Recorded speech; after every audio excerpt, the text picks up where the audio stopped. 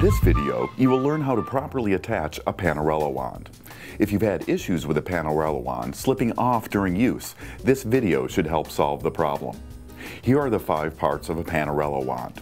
We have a nut, a small hard plastic gasket, a large soft rubber gasket, the inner wand, and the frothing sleeve. The most common cause of wand slippage is missing one of the gaskets which make up the compression fitting and holds the wand firmly on the steam pipe. Let's take a wand off a machine. First, pull off the outer frothing sleeve. Depending on the specific wand type, there is a notch or hole in the sleeve. Air is pulled through the notch or hole, helping to create froth during steaming. If these are clogged with milk residue, poor or no frothing can result. This area should be cleaned after each use. With the outer sleeve removed, we see the inner wand. The inner wand should be clean of milk residue after each use as well. Next, we'll unscrew the cap nut while holding the inner wand so it does not turn. When the nut is loose, we can carefully pull off the inner wand. But be careful, the smaller hard plastic gasket will fall or slide easily off the steam pipe. Be sure not to lose this piece. The large rubber gasket will usually remain inside the wand when it is removed. This can be removed with tweezers or wedged out with a small screwdriver.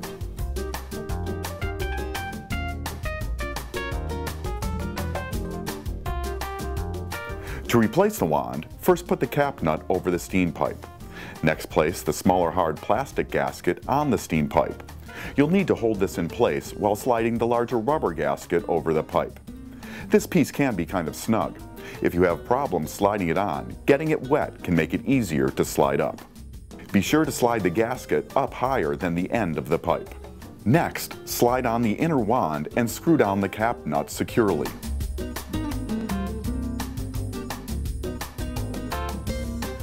Then push the outer sleeve onto the inner sleeve.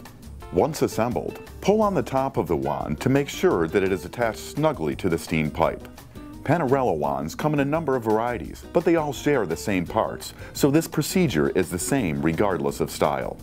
Remember, keep your wand clean for best frothing performance, and keep your eye on those little gaskets. If you've lost any parts, replacement wands are available from Whole Latte Love. Whole Latte Love is your source for expert coffee information with more than 200 videos including how-tos, recipes, machine comparisons, maintenance, and more.